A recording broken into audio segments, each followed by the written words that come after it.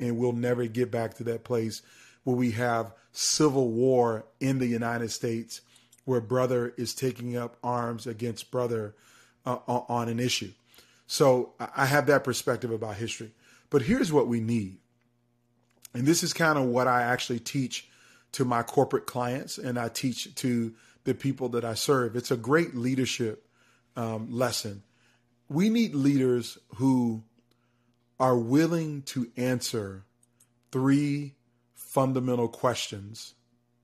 And if you're willing to answer these three fundamental questions, it's how you you will not, you will unite people, you will bring people together, you will inspire them, but more importantly, you will help them to find more success in their lives, and this is all around the world. So here are the three fundamental questions. Question number one is Do you care about me? Question number two is Will you help me? And question number three is Can I trust you? Now, what, what do I mean answer those questions? Every person that you will encounter for the rest of your life at work, in community, at your faith institution, uh, in public service, in the grocery store, or where you may shop for goods and services, they're they're going to want to know the answer to those three questions. Do you care about me? Are you willing to help me to be successful?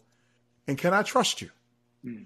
And so, what we need more of in our public life to reduce the division, the anger, the frustration that we see politically are more leaders who are willing to learn and do whatever it takes to answer yes to those three questions, not in their words, but in their actions. Can I show you that I care about you, Shay? Can I show you that? Can I show you that I'm willing to help you to have a successful podcast? And can you trust that when I come on your podcast, that I'm going to speak with authenticity, with honesty and truth and add value to your audience? Those are the people you want to interview. Those are the people I want to meet. Those are the people that every employee wants to work for. Those are the people every citizen wants to vote for is a leader that shows me that they care about me and they care and they're willing to help me and my family to be successful and then I could trust that they're not going to um, lie, cheat, steal, lack integrity.